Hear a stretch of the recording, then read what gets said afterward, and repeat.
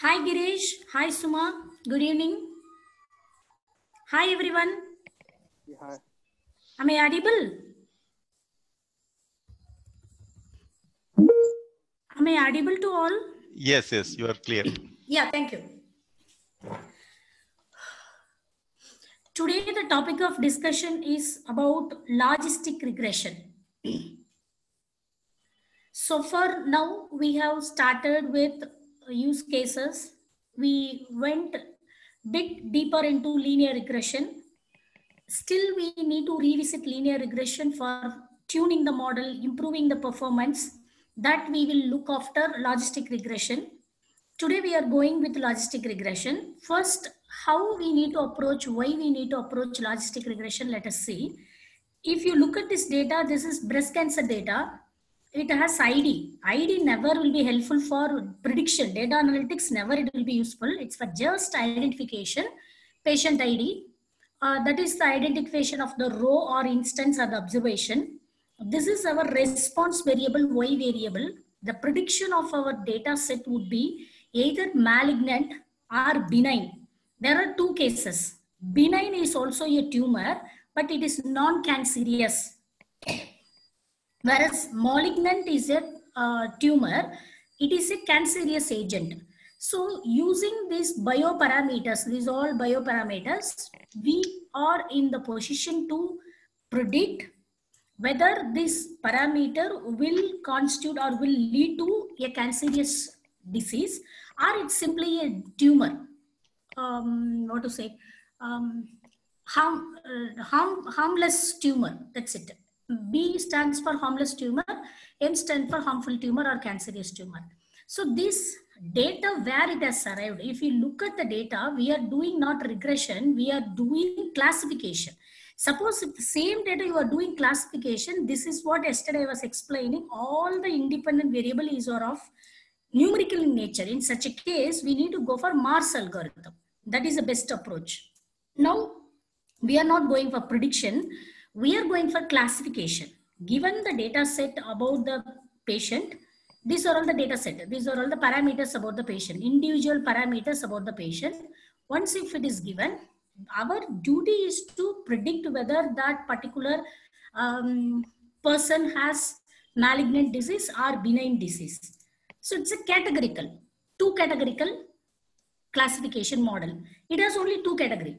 Our algorithm, whenever during test time, if we give such kind of data about some someone else or new patient, then immediately the algorithm should be able to tell me whether that particular person will get affected by M or will get affected by B. That's it. So if you look at this, it is said to be radius mean, texture mean, perimeter mean, area mean, uh, smoothness mean, compactness mean, concavity mean, something like that. What these all total MRI scan they have taken in that scan based on these parameters, these are locality of the image. Every image has a lot of dimensions, a lot of features. So based on that locality, it has been extracted. Before even we get the data, people got the scan report. Through the scan report, they have extracted this data. This itself gone image to uh, what to say feature representation. Image to feature representation. It is a big algorithm again. It's a other vast domain. So somebody helped us to convert the cancerous patient data of the scanned image in terms of this numerical value telling some name terminologies for each and every column. We no need to worry about what is X and Y, Z and all. Somehow we got it. What is our duty is to do using any model or using any kind of improvising technique, we supposed to predict this one. This is what Y variable. This is this we are going to delete delete thoroughly because not at all useful for our prediction, uh, for, for our cl classification or modeling. These all are X variable. That's it. So this imagination I wanted to bring uh, for you all before going into the discussion part of logistic regression, philosophical view, mathematical view, coding view. So how we are going to do coding, how we need to look at understand uh, logistic regression, what are the mathematical principles behind that logistic regression. That's it. This is what we are going to attempt in a couple of days. So we need to remember the y variable is of categorical in nature. Right now I'm considering only two category. Even we can consider three category, multi-category also. And next is all the independent variable is of something. It doesn't matter whatever. Even categorical also can be there. But fortunate or unfortunate, we don't have categorical value. This is the data released by UCI Machine Learning Repository. Wilcox and uh, hospitals data. This is, that's it. This is the background about it. If you want to know more about it, uh, uh, you can go to UCI Machine Learning Repository. Nothing have changed.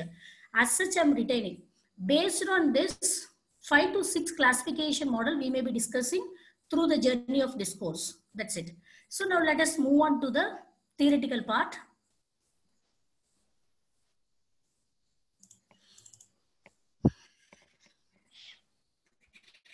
Is that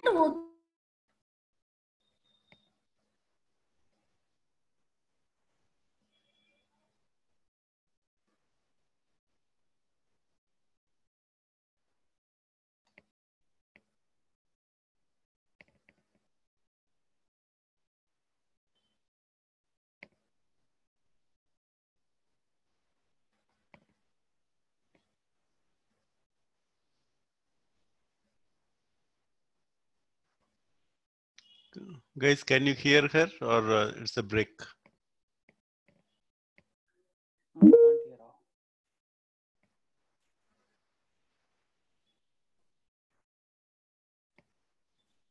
Yeah, I think her internet is dicey.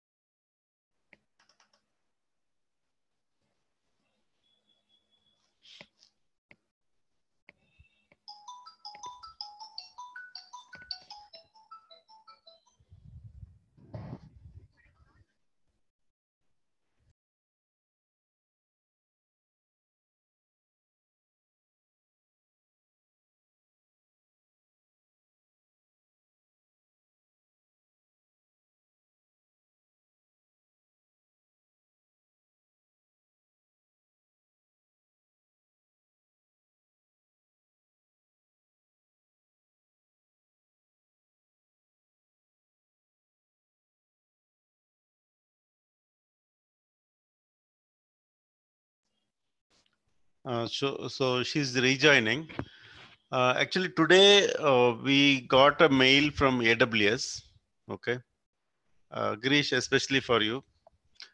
Uh, there is uh, a competition they are organizing. So that is something like a ML program only. Okay. So for that, they also have started giving lessons on ML, machine learning lessons. So uh, I will open that link actually.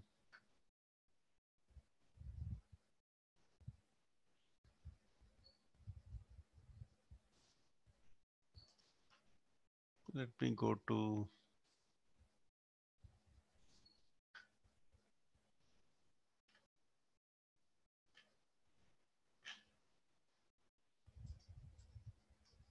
Hello. Yes, Sir, what happening? Suma, she she got disconnected. She's going to connect again. Okay. Yeah, no problem, no problem. Just I Yeah. just want to ask you.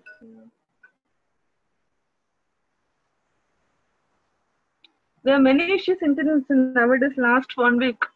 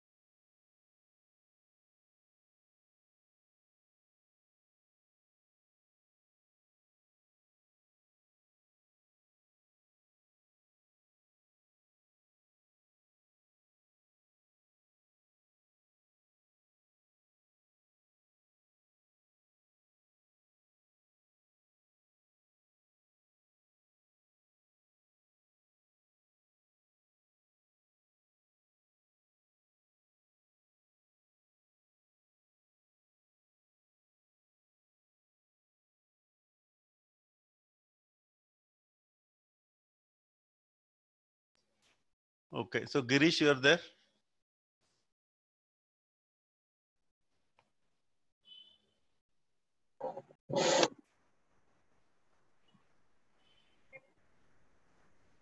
Yeah.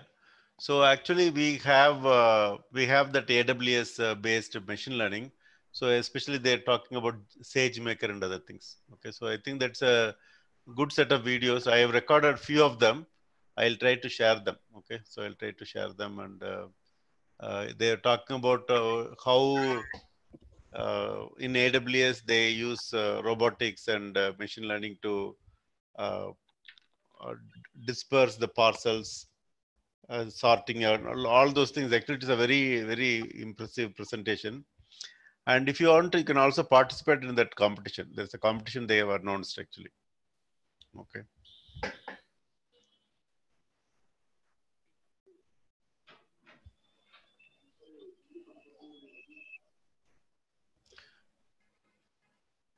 So Lakshmi is rebooting her system. She'll join in just one minute.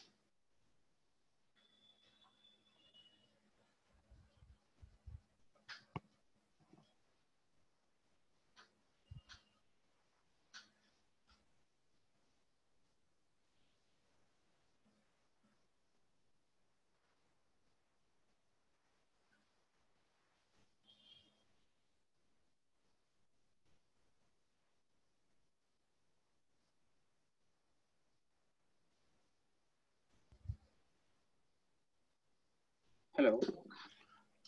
Yeah, Girish. She's just joining actually. Yeah, she joined. Okay. okay. Yeah, sorry for the inconvenience. No problem, madam. Yeah. Yeah, where we stopped, Girish and uh, Suma, uh, uh, the entire Excel, uh, did I s- elaborated? Did I elaborate that entire Excel sheet? Come on. Please respond to me. Anyone Yes, yes, yes. You finished this Excel. You are talking about logistic regression. Just to Yeah. yeah. Okay, now logistic regression. What is the agenda today? We are going to look at is what is logits, what is logic function or sigmoid function. There is one more word, the sigmoid. Then how that logistic regression model starts learning that parameters, how it is learning. It's a parametric algorithm. Already we discussed linear regression is one of the parametric algorithm. Similarly, logistic regression also one of the parametric algorithm in which how it is learning is happening is through gradient descent.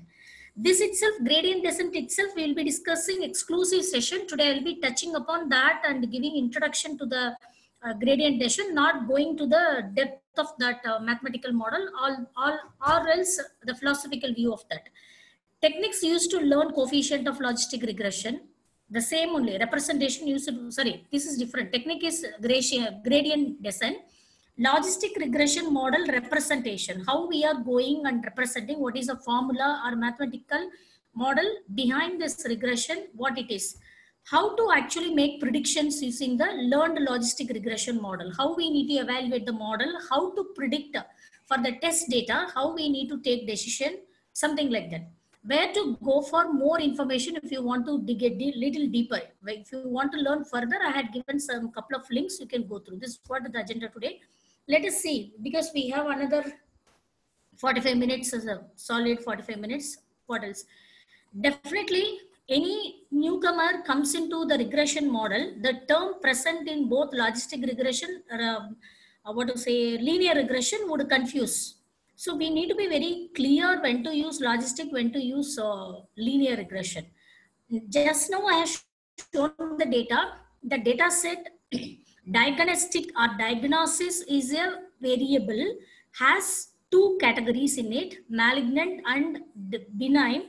So it is a categorical in nature. The moment the response variable becomes categorical in nature, definitely we are supposed to use only the logistic regression Whereas in the linear regression, it was a continuous variable price both for car and house. It is of one lakh dollar, uh, ten thousand dollar, twenty five thousand dollar, one lakh something. It was a number. So that we use linear regression. It is of predictive variable. That's what it is given. Continuity predicting continuous variable. That is a uh, conscious effort we need to take when to use which model. Now types of logistic regression binary logistic regression. Whenever the mail is um, classified into spam or not, in, uh, especially Gmail takes decision, even Rediff mail takes decision. Whether the mail, incoming mail need to be alerted into the folder spam or any other folder. First, it will take that decision. If it is not spam only, it will categorize social update and one more is there something. Then uh, inbox, so these are all the um, uh, categories of the mail. Again, Gmail further classifies. Very first, it classifies whether that mail is of spam category or not. In such situation, even Gmail, Rediff Mail starts using this binary logistic regression. I'm not sure about Yahoo Mail and whatever. Next, multinomial logistic regression. It has three or more category that is vegetarian it needs to classify based on the parameters given the foods preferred by a person we need to classify whether that person belongs to vegetarian category non-vegetarian vegan. It has three category here. We no need to worry about what it is. Just i'm giving one example. Here more than two categories place comes into a picture. For example, if I want to classify my student's attribute based on his IQ, based on his number of hours contribution towards studies, based on his uh, inter performance, that is plus two performance, then I can predict the BTech, his, uh, uh, what to say, the grade level, like average grade, um, moderately good grade, and uh, excellent grade three grade or even four grade. Four grades I can classify. The moment it comes four grade, it is said to be multinomial logistic regression. There is one more, there is ordinal logistic regression. Normally we do ordinal only because we cannot supply spam or not. This vocabulary we cannot supply. We need to replace spam by one, not by two or zero, one, something like that. Here also we need to replace by one, two, three. So that is what it is uh, mean to say ordinal logistic regression. Ordinal, there is a meaning in it also. If I replace vegetarian by one, non-vegetarian by two, vegan by three, it is not a big issue. But the movie rating, when it comes, there is a lot of meaning. If I ask you to rate my session, then there is a meaning in it. If you give one, there is a different meaning. If you give two, there is a different meaning. Little bit, the quality goes down, whatever. So in such a case, strictly it has a meaning. What is the significance of one? What is the significance of five? There is a meaning in it. That is called ordin ordinal logistic regression. That is also possible. We can do it. So these are all the major types of logistic regression. Normally people will practice. Now again, let us come back. Target is an interval variable, whereas target is an binary or ordinal variable. Binary means 0 or 1 also you can keep, or 1 or 2 also you can keep. Input variables have any measurement level. It can have any measurement input. Input means independent variable. It could be categorical in nature, numerical in nature, or float in nature. Any measurement level. Same is applicable for logistic regression. This point is common. It is going to become common for both of the models. Input variable, independent variable, there is no problem at all. Predicted variables are the mean of the target variable at the given values of, that's all. Predicted values are mean of the target variable. That means it is a continuous value. Whereas here, probability we will get. We will be shortly looking into what it is probability. Based on the probability only, it classifies spam is 1, not spam is 0 or 2, whatever, any value we can give. Similarly, malignant, I am going to name it as 1. Benign, I am going to name it as 0. So based on the probability only, it takes the decision which class I need to put that particular instance. So this is what happening in the linear and uh, logistic regression. Let us have visual imagination. What is all about linear regression, logistic regression? Ultimate uh, final display unit, I can say. If you look at linear regression, it is highly dependent on the line equation, separable line equation or line equation. Simply line, just imagine line. There is a line. We have in the classification category, either that category or this category, extremities, two category only we have. Then just imagine this is of one category, this is of one category. Then if this is the case, linear regression is not the uh, fit enough model to bring into one or zero. It has a range, can exceed the range also if you use linear regression. Never we can bound to the value zero and one. It can be 0.8, it can be 1000, it can be 25,000, it can be 200, whatever it, it is possible to obtain the value. These are all the kinds of value we can obtain through linear regression. So for the case of classification, it would not be useful. Look at the other function, it is called sigmoid curve. The sigmoid curve which changes the boundaries or its uh, pattern at 0.5. This is the line, it is called 0.5 this extreme is said to be 1, this extreme is said to be 0. Whatever we are doing, this is where the first learning is going to happen. We need to be a bit careful. Here the value marked is 0.5. For each and every instance, like earlier I said, all the x variables are converted into some summation of this is converted into b naught b1 some learning parameter will happen. Then we will substitute this x value here x1 x2 something like that. Finally one value we will get that is y that we will plot somewhere here. Then we will find the distance. This is called residual error.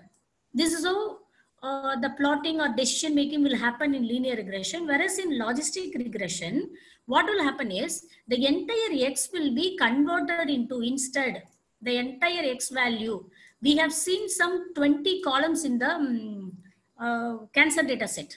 Entire X value will be finally converted into probability. Probability means strictly it is to be between the range 0 to 1. Then, for example, this is record number 1 or row number 1. All the X parameters we are considering, we are substituting or that all parameters are undergone through lot of mathematical transformation at the end of the mathematical transformation, we will get, let us say, for example, 0.8 for the record number one. For the record number two, all the instances are that x variables are considered and converted into the probability value through a lot of mathematical. Here the hidden black box is mathematics. Imagine through the mathematics, we are converting it into probability value between 0 to 1. Let us say, for example, 0.4. Now, what is happening in the logistic regression is whenever 0.5 and above the obtained probability value lies, it goes to 1. Whenever the probability value goes less than 0.5, it goes to 0. This is the beauty of logistic regression. What is the one means? Malignant, let us say, for example. What is zero means? Benign, non-cancerous tumor that person is having. Then beautifully, it classifies us. Either it will tell us, given the data x number of, let us say n columns. If you give x, it says me either m or b. What is the error here? Here you would be calculating error through this kind of line. It is said to be fascinating way. It is residual error. How you can measure the error in the logistic regression is the next question. I'm making you to imagine I'm not at all touching, I'm not at all entered into logistic regression. Even if you cannot able to grasp what I'm telling, please hold on. We, we can able to uh, elaborate a better way. These are all imagination. I'm making you to imagine. So here what will happen is, for example, this is the data supposed to be benign, not the malignant. But my prediction says it's a malignant. So I'm labeling this person as a malignant instead of benign. This is called misclassification. By looking at jeans, pant and shirt and uh, boy cut, no, sometimes we misclassify looking at that boy, girl is a boy. That typically that girl belong that person belongs to a female category. But the way the dressing style shows and appeals that she is a boy if i look at a distance. I'm misclassifying that female into male category. That is called misclassification here the number of misclassification what is happening is what my measurement for the logistic regression how many lesser misclassification i'm doing is my best model. Whereas here, how best the line I am forming, how I can reduce the error, small, small error, very small. It should not be this much bigger. Very small. That's what yesterday we have seen towards zero, every, the entire data set condensed towards zero. So that's what we are trying to do here. But whereas here, this person, instead of B, we will put into M. Instead of M, we will put into B. This only will happen. Misclassification only will happen that number of misclassification instances are said to be an error. That's it.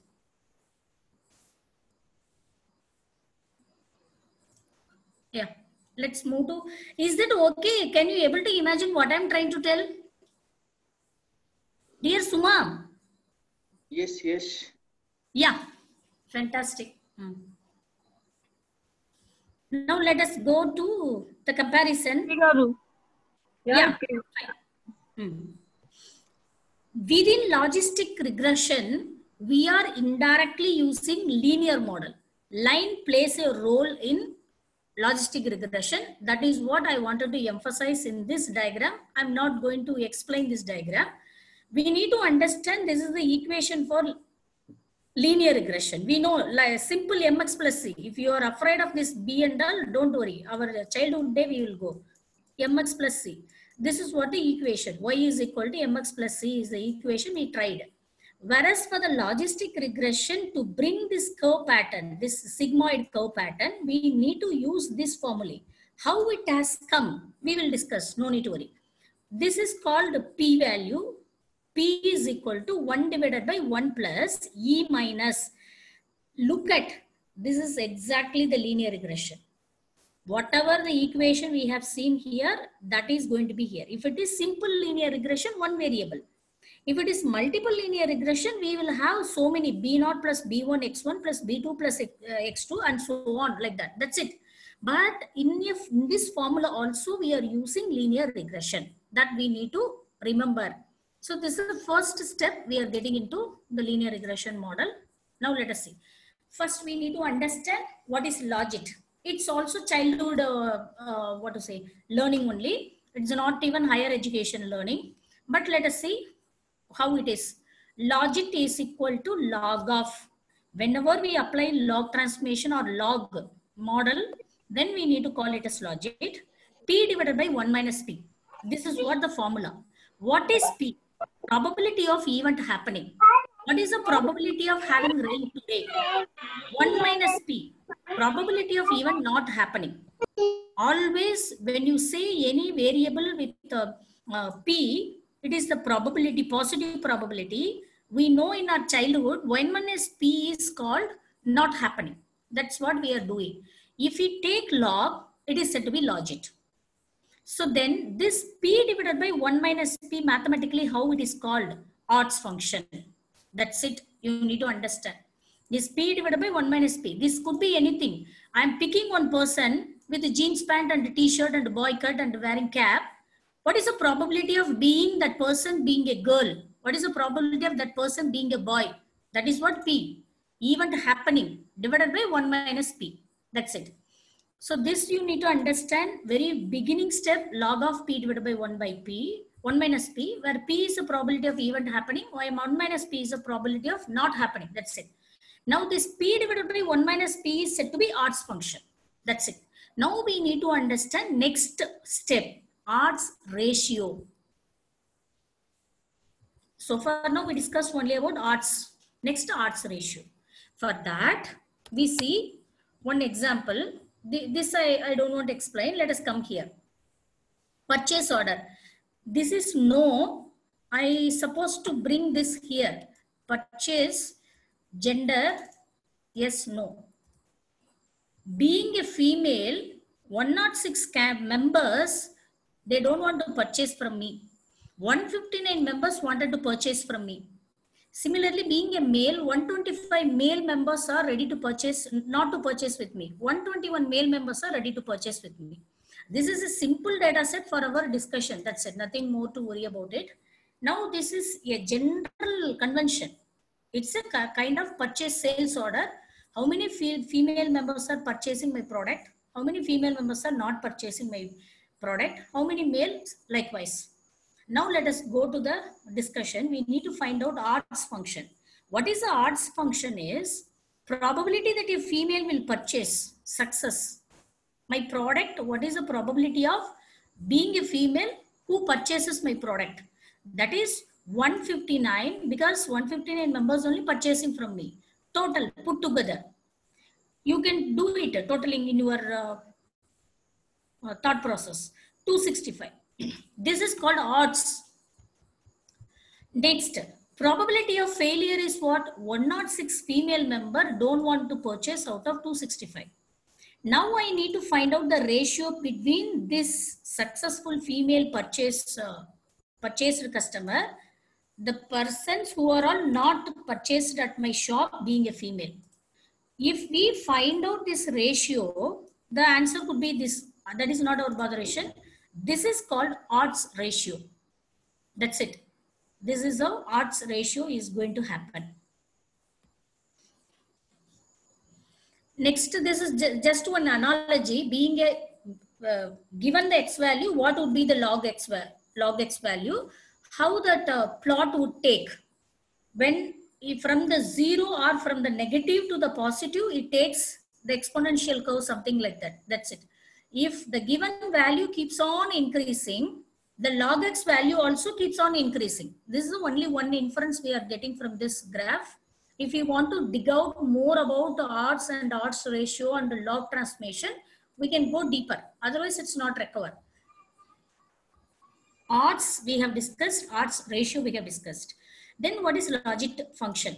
Logit positive value will become whenever the probability of the event increases, increase in the probability of the event, then it will become, then IV is independent variable. It will become logit function will become positive. Whenever the decrease in the probability of the event, logit function will become negative. Again, for the two class category of data, 0.5 and above, whatever the value comes, it will be treated as one category. Whereas another less than 0.5 whenever I obtain, it is treated as another category. Whether it is positive or negative, it doesn't matter for this. Positive or negative. Both are fall into this category. The moment the probability value which I obtain through that function 1 divided by 1 plus e power minus some line equation we have seen. This formula if tries to gives me the value lesser than 0.5 immediately I'll put it into zero class. That's it. Now step number one. Let us start how we have obtained that formula. Just know what I have written. 1 divided by 1 minus 1 plus e minus 1 something like that. Consider the line equation y is equal to a plus bx or if you are not comfortable mx plus c. You can keep imagining that instead of a is c, instead of b1m, instead of x, x. That's it. Now what we are doing, we are removing the parameter y, we are substituting the parameter p instead of y. The next step what we are doing, we are trying to equate this with the odds ratio p divided by 1 minus p that we are denoting it as odds function o. Again, we are returning the same line equations. Here little bit keep on changing that individually you can go through. Next, what we are taking, we are taking log on odd function. We are taking log, uh, log, log, log, function on the left hand side. The moment we take log function, the transformation of the equation will happen. O or odd function O is equal to e to the power it will become. Instead of O or you retain this alone. O is represented as P divided by 1 minus P. If you take log on both sides, then it will be, you, earlier we have taken log for this. Now after the transformation, right hand side it will become e power. Then out of this LHS and RHS, if you try equating, P is equal to 1 divided by 1 plus e power minus a plus mx something, it will come. This is childhood level mathematics only. This function only highly helps us in the logistic regression. This fellow is the hero of logistic regression. Whereas mx plus c is the hero of linear regression. Now we have come to know how this hero has come. We started with the assumption. Again, let me walk through. We started with the assumption y is equal to mx plus c. We re simply replaced the variable y by p. Then we converted LHS into odds ratio. Odds ratio is p by 1 minus p. 1 minus p is the probability of successful occurrence of the event. This is unsuccessful occurrence of the event. Then we are treating this notation as O. O is not required at all. Then we are taking ln function. The moment we take ln function, both side we should take, but we are not doing. We are converting this ln function to the right hand side, shifting that ln function to the right hand side so that it becomes p divided by 1 minus p. This becomes e power, inverse. 1 by ln inverse will become e. That's it. e power a, mx plus c. Then what we are doing, we are uh, separating LHS, we are retaining only one p variable. Then this entire transformation would be shifted to the right hand side. Then it becomes this. If it is multiple parameter, then this is the equation. We know already multiple linear regression, this is the equation we will use. If number of variables are increased for a, a, even car price prediction, house price prediction, we used multiple number of columns. House prediction, we would have used 60 columns. Car prediction, we would have used some 15 columns. So this all put together, it forms this equation. That's it. Now let's move to this, how exactly the logit function will look. This also treated as logit function. This also treated as logit function. Because of this line equation only, we could get a line, but it has a pattern, sigmoid pattern. This is called sigmoid pattern. The, without this line equation, it is not at all possible to bring a line. That is a hidden imagination we should have. Here we are trying to include both linear regression and logistic regression, how the probability or the classification happens. Kind of figures I have brought in, that's it. No more significance. This is enough. Now let us move on to the further theory discussion. Any questions so far now? May proceed with this or do you have any questions to be clarified?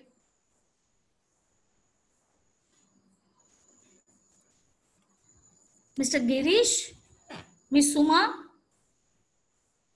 Yeah, please go ahead, go ahead. yeah. Suma, are you there? Yes, yes, yes, yes, I'm listening. అర్థమవుతుందా మీకు ఓకేనా అర్థమవుతుందండి okay అండి ఈ పాప ఇది లాగేస్తుంది తాత అందుకని ఓకే అండి ప్రొసీడ్ అవుతా please please go head Okay. So this one simple example uh, is brought. Given a height 150 centimeter per person height, what we are doing, we are going to predict whether that person is a female or male. B0 and B1 is essential for this equation. See, if you look at the equation, B0 and B1, these are all essential.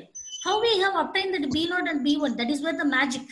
That B0 and B1 is the part gradient descent and uh, some more algorithm also helps to bring those parameters. This B0 is said to be learning parameter. That is why it is called parametric learning algorithm. These are all said to be parameters. A also parameter. This BP also parameter. This parameter we should know to substitute in this formula. That is where learning is happening. These four parameters are learned by the algorithm. This is called learning algorithm, machine learning. This after this learning or obtain this coefficients or parameters, only then we can think of going towards the logistic regression. Otherwise, logistic regression we cannot proceed.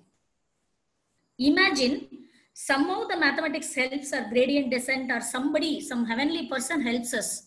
We have obtained the value for B0 and B1. That is minus 100.6. How I got, you don't worry. Then whom we are predicting, there is a person. I don't know whether that person is a male or female. I know only the height of the person, 150 centimeter. Then I supposed to substitute in it. One heavenly person, godly person helped me to know the value of B0 and B1, I'm just substituting these all into EXP, exponentiation. Then what is the value we get? 0.00 something. It is near to zero so that the person is male. It is up to us what we are fixing. We can fix one for female, zero for male, or else whatever we want we can fix. Zero for female, one for male choice is ours. So in this algorithm, male value is assigned with zero. It is less than 0.5. So it classifies depending upon the uh, height of the person. It says me this person is male. This is how logistic regression will work. But what is the hidden phenomena I had given you? This B0, B1, how I have obtained this is unknown for you. The equation you know, I am having only one variable that is 150. One instance I am taking and testing with my model. This is test data, not trained data. 150 centimeter is test data. With that, I am predicting Y or P, anything you can say, probability. The probability is this. This falls less than 0.5. So I'm categorizing it into one of the category. That category could be anything. It's uh, my choice, what I'm setting. That's it. Now let us move to this. This is the rule given. Next, how we are finding out the parameters or the value for B0, B1, etc. I'm just bringing a glimpse. This alone we need to discuss or address one day.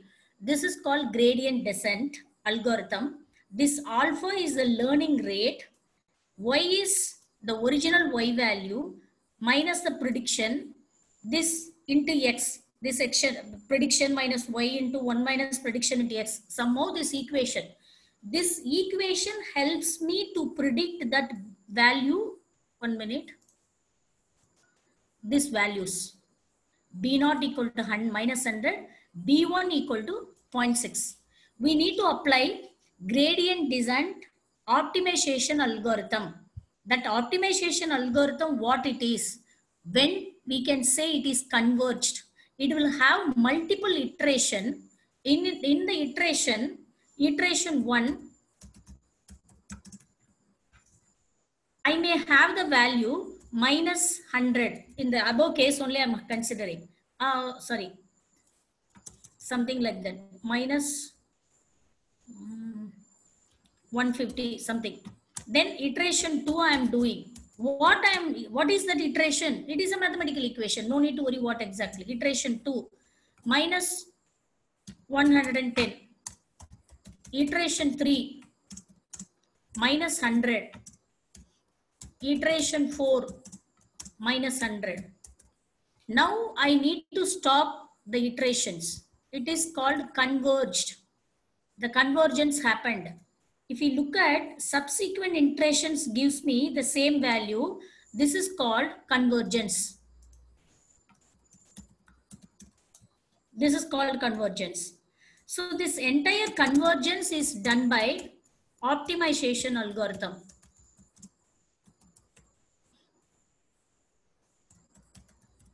one of the optimization algorithm what we are using is gradient descent. So this is what happening inside the learning process machine learning process. This entire gradient descent convergence technique learning about what b naught and b1 or in our conventional case m and c. These two only it started learning. For a simple linear regression i'm telling so once these two parameters are learned, then I can substitute in that sigmoid function. In the sigmoid function, then the sigmoid function will give me the value 0 to 1 probability value. Then I'm fixing the threshold. If it is less than 0.5 into different category, if it is greater than 0.5, I'm treating it as different category. This is what happening inside the logistic regression. Now the black box part is only this. I'm not at all explaining what it is. That's it.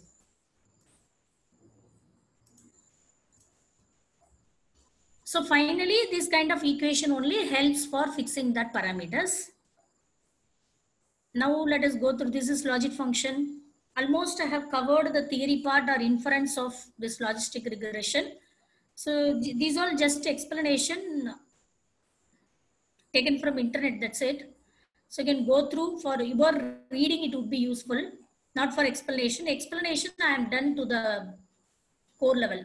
One more method also maximum likelihood estimation also happens in the coefficient beta value fixing. Here one more uh, simulation one same only minus 100.6 same, same repeated now, how to prepare your data for the logistic regression? Now, second question. Now, almost we skipped the gradient descent. How that B0, B1 we obtained, uh, I am putting it in the black box model. I'm not revealing anything. We will address this in the coming week. By that time, uh, the level of understanding would be to the higher pedestrian for you guys. Then I can talk about those all. Then I'm slightly postponing to bias variance and uh, this gradient is also one of the tuning algorithm, one of the improvising algorithm. So that all postponed to the coming week session. This week uh, completely we are uh, doing logistic regression, mathematical view and a couple of notebooks. With this, uh, this week I'm completing the syllabus.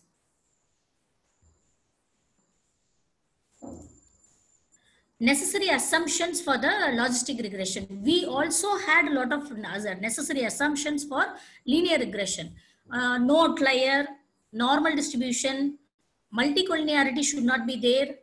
Categorical value need to be replaced into what is called uh, uh, encoding variable, something like that we discussed. Similarly, here also missing value imputation.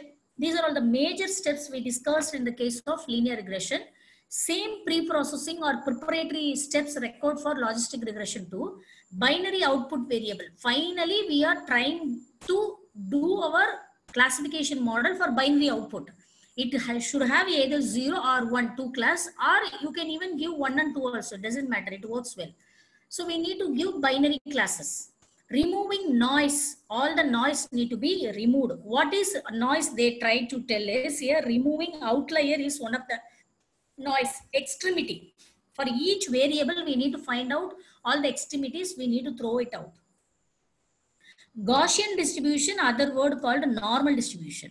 Whatever the numerical value lies in your data set X, we need to find out the X and Y between these two. We need to find out the linear relationship. Other way I can say simply, normality should exist.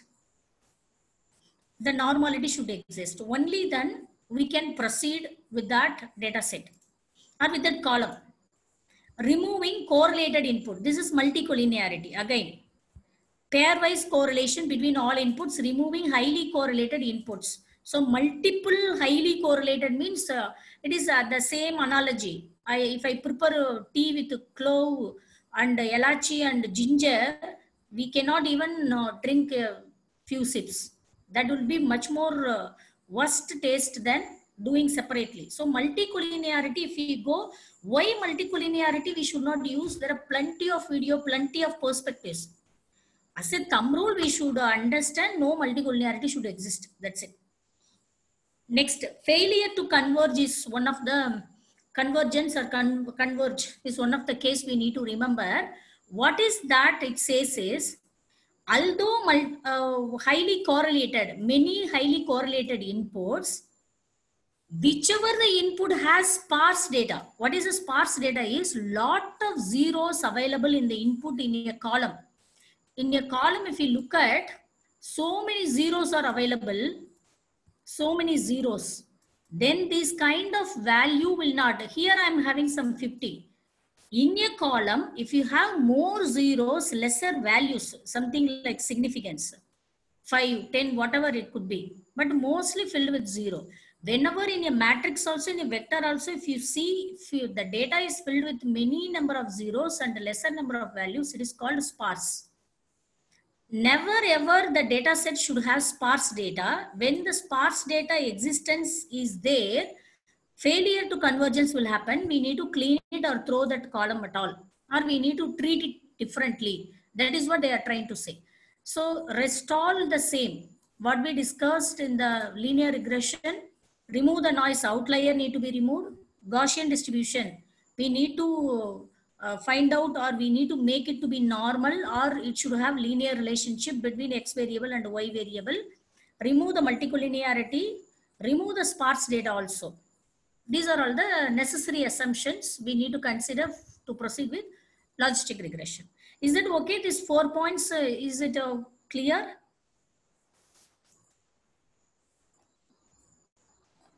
necessary assumptions for the logistic regression. Am I clear?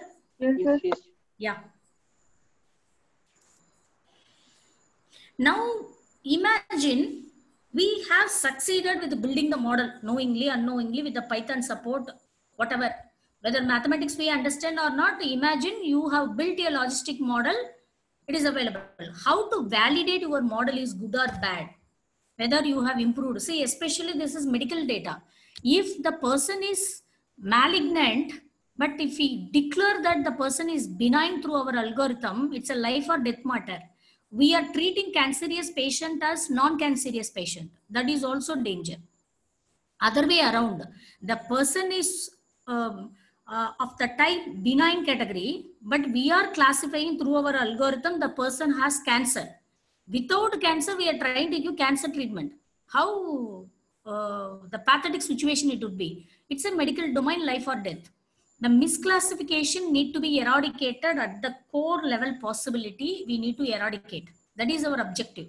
So how we can validate the model accuracy is what we are discussing.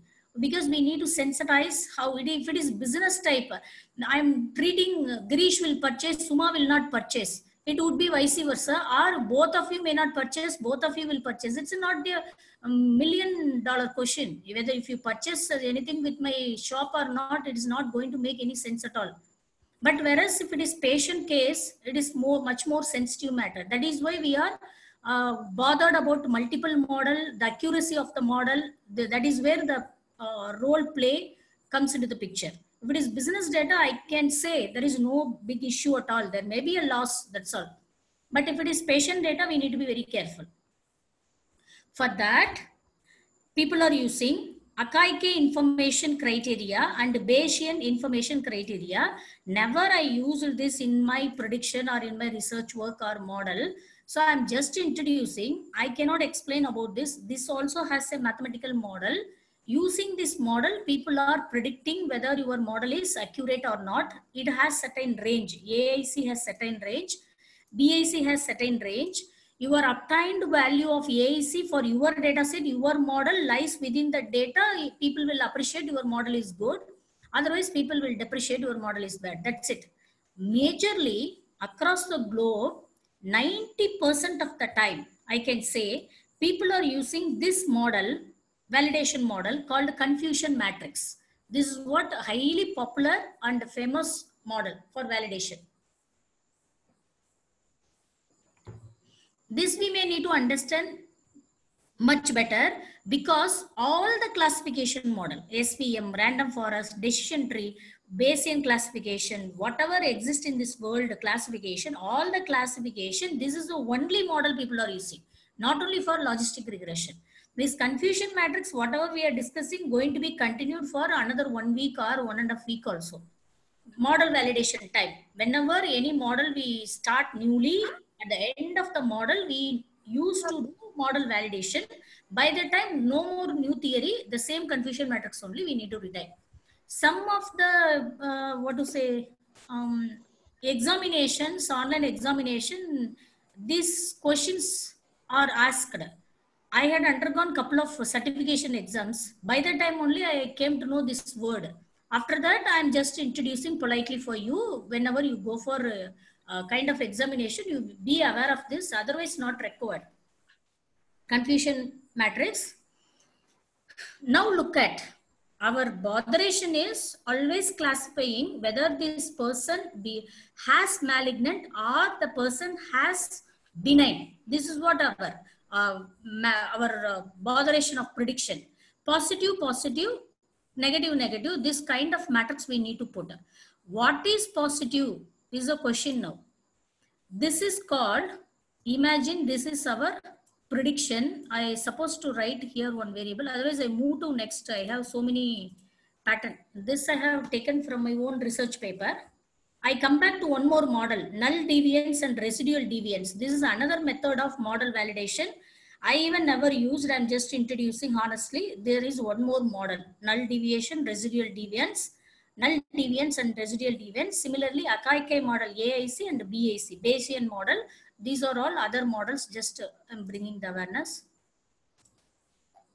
Let us go. See, this is what actually that person has malignant or benign predicted. Your algorithm says for that person, whether that person has malignant or benign. It is a uh, mapping. It's a kind of cross tabulation so we are doing actual versus predicted. In the actual also we have two types of patient. One is malignant, one is benign. Your prediction also would lead to either benign or malignant. That's it. So your prediction and actual both happen to become positive positive. You can imagine instead of the word positive, in our example, it is malignant, positive, let us say malignant, negative, let us say benign Normally negative disease only we will talk, no, no cancer, uh, cancerous patient, so benign. Now, um, the patient, record number one, first patient declared or that uh, uh, declared by the doctor itself malignant. That data set you are passing to your model, your algorithm says that malignant. You are succeeded. One true positive you got if it is vice versa, the person really has malignant, your algorithm predicts it as benign, that is false negative. These two should not be there. These two should be increased, negative, negative. Um, originally, that particular instance belongs to benign category, your prediction also benign category, then true negative. That is fantastic. So all the time, the count of this diagonal, primary diagonal need to be increased. This should be towards zero. This also should be towards zero. Only then we are succeeded. Our algorithm is good. towards zero. If not possible, it could be one or two. Very minimal instances we can do wrong classification.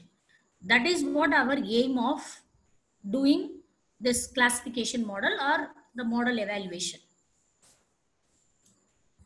These are all the formulae, possible formulae. Finally, accuracy, this is the formulae people will use. True positive, true negative. This is said to be true positive. This is said to be uh, false negative. This is what? Accuracy is calculated using this formula. True negative true positive. This, this prime diagonal divided by all the four component. This is accuracy. Then people used to call sensitivity or recall, specificity, negative predictive value, precision, F1 score. These are all other way of looking at your results. What is the meaning? Precision, true positive. If you are bothered about only the cancer patient, how good your algorithm in favor of identifying the cancerous patient, then you should use this formula. You should be very careful. We should use this formula if we are bothered about only cancer patient. If we are bothered about only benign patient, we should use this formula. How correct my algorithm predicts the person doesn't have cancer. Algorithm beauty may favor towards this prediction or may favor towards this prediction. We need to understand the business problem statement. What is their question? What is their focus area? Accordingly, we need to use these formulas. Look at TP divided by TP plus FP. TP divided by TP plus FN. Slightly changes, but there is a lot of meaning in it. So normally, uh, conventional research paper and they will do this only, accuracy, F1 score. But when it is becoming to the business domain, we need to understand the problem statement, what they are asking, what they are interested of. Accordingly, we may need to use either one of the formula. So these are all the major six formulas people will use for classification model according to the given circumstances. Again and again, the same is repeated.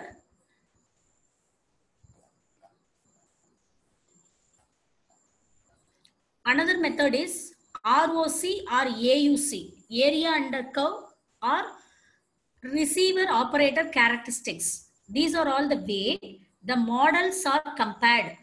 In this example, you can understand very periphery level. I am not touching depth right now. Tomorrow we may be revisiting once again. If you look at the uh, modeling of each and every model, they will be fitting false positive rate, true positive rate. Using these two values or components, they will uh, start plotting the graph. If the graph goes towards one, look at this. This goes towards one. This model is appreciated as excellent. This whenever is towards zero, worthless, that model whenever ever even we should spell out, I did this, I did great thing, I have done your coding, not at all. This is good, moderately good. ROC should be near one. That is what appreciated. Area under curve. See, this is what area under curve. For the yellow, these are all area. Area under curve. It should be one. That is called area under interpolation, extrapolation, numerical methods. If you would have studied, no, you can understand. These are all area under curve. Sorry, I, I did wrong. Yellow, I had gone that side. So area under curve is one. Then it is said to be good towards one. ROC or AUC, whatever you want, you can consider. One more example we can discuss. See area under curve. This is this yellow portion, shaded portion is called area under curve. This can be done with sensitivity 1 minus specificity also, or you can do with false positive rate or true positive rate also. Here, uh, random classifier they are using, not logistic regression this algorithm, this material I have taken from random classifier. There also you can use ROC and AUC. That this model one is worser or model three is extraordinary. Model two is much worser than model three. Model one is much more worser. So which model we should not spell out? Model one, model two is not at all performing well. So we should not spell out. The model to be appreciated in our uh, or in your prediction is model 3. You need to look at the graph which goes very near to one. There are algorithm. I will show my one of the research attempt. I have developed for the same data set 11 algorithm 11 classification model that comparative study i'm yet to publicize this near zero will come in uh, my algorithm this roc curve had come very near to this one. Very near. Why it has come very near? The obtained accuracy of my algorithm one of the algorithm is 98.8 that is why this line goes near 1 absolutely 100% accuracy have got. That's why that ROC goes near 1. Yeah, with this, um, I give you one uh, assignment for tomorrow. These are all the two links I referred for my preparation. The same you also can refer. You can watch much more clarity. You can watch these two links. This is reading material. This is video material. Now let us come to the discussion. Yesterday I asked you to do mean imputation and one more is mode imputation and I did median imputation. Now you need to tell me the comparative results of yesterday's uh, yesterday's assignment. One simple assignment only I gave. The same code you supposed to calculate mode and median R1, um, RMSE and uh, R square. This is what our objective. Which one is doing better? I did median. I don't know what about mean and mode is going to do for you. I guess, ma'am, you did mean. Pardon? I guess you did mean. Ah, yeah, okay, whatever. Yeah, I did mean means the other two. Forgotten. Okay, I tried with median. Okay. How do you get the RMSE? Is it lower or higher? It's, it's just 0.1%. Ah, 0.1% reduced or increased? Uh, let me compare that. Yeah. Just a minute, ma'am. I'm just traversing back. For uh, mean, mean, just a minute.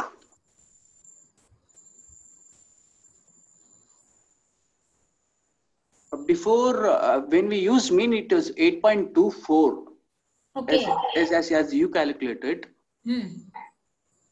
When we implied uh, median, uh, it's uh, 8.29. So it's 0.05 percent Okay. Fine. is increased. Increased. So mean only behaves well for us. Yeah.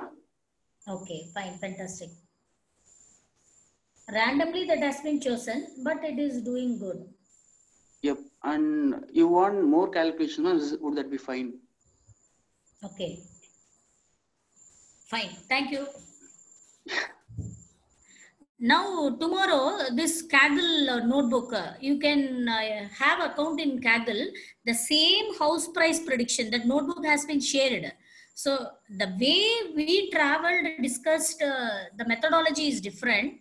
This guy does it in different way Okay. just look at quickly some five to six minutes or 10 minutes presentation tomorrow i am expecting. So tomorrow logistic regression we revisit to, in the rapid uh, fast way, way. Subsequently we go to the coding logistic regression coding only tomorrow i am going to discuss. Then one more case study for the logistic regression we will discuss on uh, another day uh, friday also. This week fully celebration with only logistic regression. Meanwhile you would be giving the presentation on if you are comfortable tomorrow or day after tomorrow. So this then this weekend assignment would be one hackathon data set i'll give linear regression. That saturday sunday. Monday only we are going to talk about that. So this is what uh, the agenda of uh, our sailing. That's it.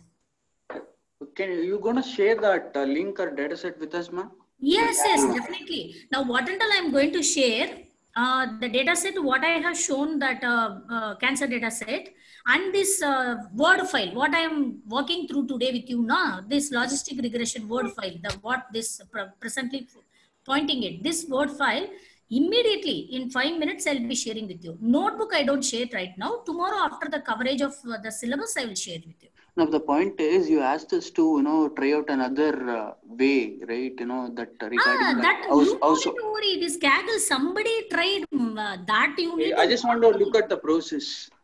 Pardon? We just want to go through the process in the which way. Yeah, the- you, in the Kaggle itself, you can execute. Are they themselves uh, explained with English and uh, the output? It is there. Okay, okay. Kaggle platform. It is like a um, Jupyter notebook. If you log in, you can even modify that code also. Okay, okay, okay. If you are not interested to modify, just to walk through means don't even log in. Eh, Just click this link, it will open. Just to walk through. I, I I just do it for you. Now, right in front of you, I do uh, what I'm expecting. You can understand much better. One minute, I do it and then I'll switch over uh, the sharing material.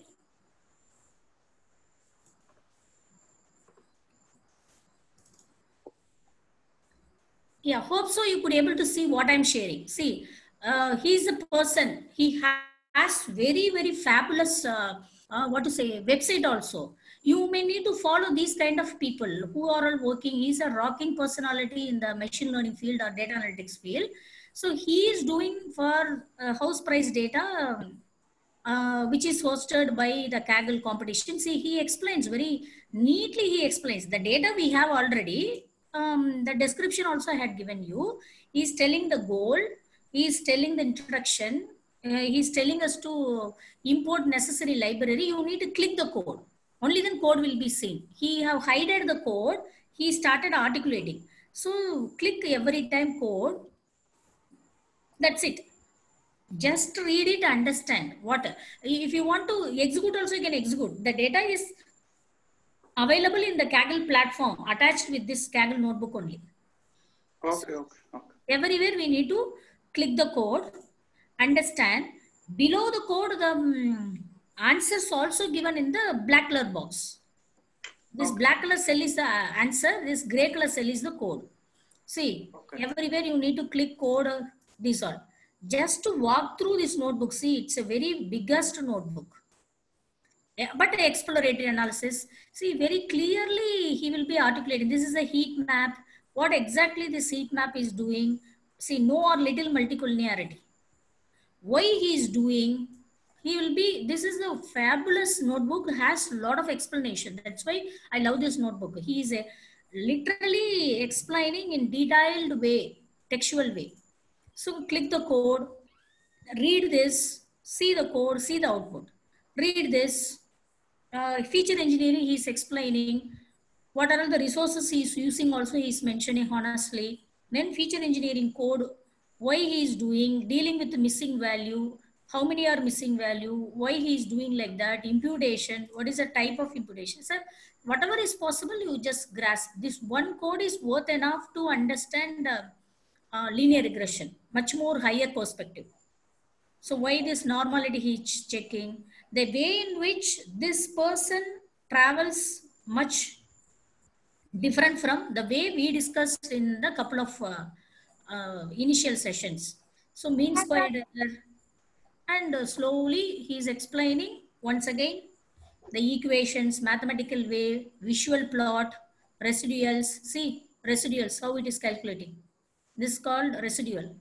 Then that all sum of error, RMSE. After RMSE, R square best fit model, coefficient of determination. Then explanatory. This is how I am asking you to. This one book is enough. You had gone somewhere. These all don't uh, bother. Regularly, I haven't touched upon. Cross up to cross valid cross validation also you no need to worry. Up to where you need to look at, say up to this only. Mean That's squared error only you need to look at. See, this is the point. After that, I don't want you to go through. If you wish you go through, I am I am not expecting. So these are not required. These are improvising techniques. Yes, ma. Madam, madam, I am having a question here. Yes, sir. Okay, just like you did for this, Uh, when you get time, can you uh, ca- ca- identify something for banking and finance uh, industry also and pass it on to Girish and Suma? Okay, Not sir. today, not today, but some Oh. other time, maybe after a week, because it will be very helpful, very helpful. Definitely, sir. Give me a couple of days, then I can uh, revert back to you. Okay, okay. Yeah, Thank same format, same, but all Yeah, the yeah. included. Okay, Self-explanatory notebook you are expecting. correct. But yeah, without skipping anything. me- method. Yeah, definitely. Thank you. Kannan sir, Yeah, so you're talking about some uh, AWS uh, videos. right. Yeah. So that is what actually uh, madam only sent the link to me.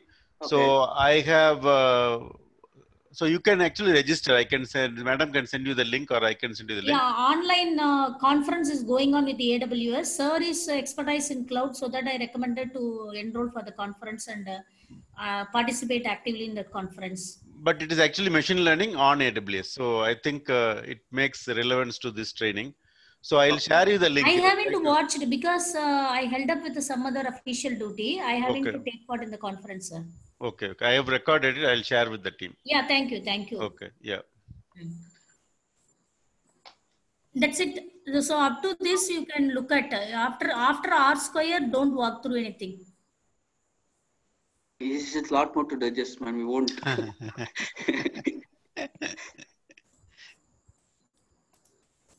I think she said underestimating us, huh? our our uh, laziness and other thing. no, no, no. We don't want to cross our ex, you know, expectations. Yeah, then she will not have anything to do. with. Right? Let's see when it goes. Okay. The Bible. Okay, with this, uh, shall we sign off? I will shortly share with you the data set and this uh, Word file um, after the discussion of logistic regression, I will share with you the code. Okay, that works. Yeah, see you all. Sign off. Bye bye. You. Okay, bye. Thanks.